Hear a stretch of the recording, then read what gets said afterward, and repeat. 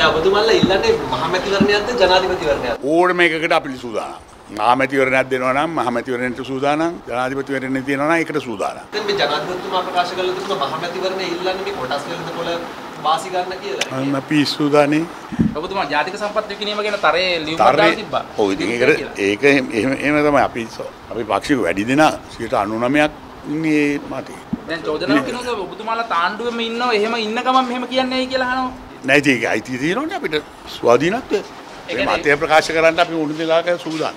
ඔබතුමාගේ හිතේ කවුද ඉන්නේ? ඉන්නවනේ. එහෙනම් ගොඩක් ඉන්නවා. ඕනෑම මැතිවරණයකට අපි ලෑස්ති. අපි බලාපොරොත්තු වෙන්නේ ජනාධිපති මැතිවරණයක් විශේෂයෙන්ම.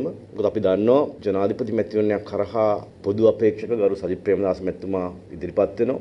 මේ රටේ ඉන්න ජනතාව අති බහුතරයක් අ, එතුමාගේ ප්‍රතිපත්ති සහ සමගි ජනබල වේගයේ වැඩසටහන් සහ ප්‍රතිපත්ති අනුව අපිට අනිවාර්යයෙන්ම අ, ඡන්දයක් ලබා දෙනවා කියන එක ඒ දැඩි විශ්වාසයෙන් අපි වැඩ කටයුතු කරනවා. තරුණ නායකයෙක් ඉල්ලනවා සමාජයේ. නමුත් අපි කියලා නෑ කවුද කියලා. ඒ තීන්දුව ගන්න තාම කලබල වෙන්න ඕනිත් නෑ මොකද ජනාධිපතිවරණය ප්‍රකාශයට පත් කරනකොට තමයි අපි පක්ෂයක් හැටියට අපේ එනවුස්මන්ට් එක පක්ෂයෙන් ලබා දෙන්නේ. පොඩ්ඩක් ඉන්න ඉන්න තා- තව ටිකක් ක- කල් දෙමු.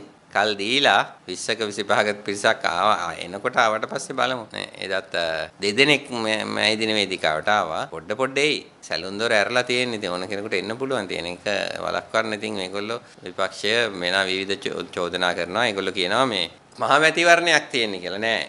ජනාධිපතිවරණයක්ම තමයි තියෙන්නේ. මහමැතිවරණයක් ඉස්සේ තියන්න කාලයක් තව මහ- නිල කාලයක් ඇවිල්ලා නැහැ මහමැතිවරණයකට.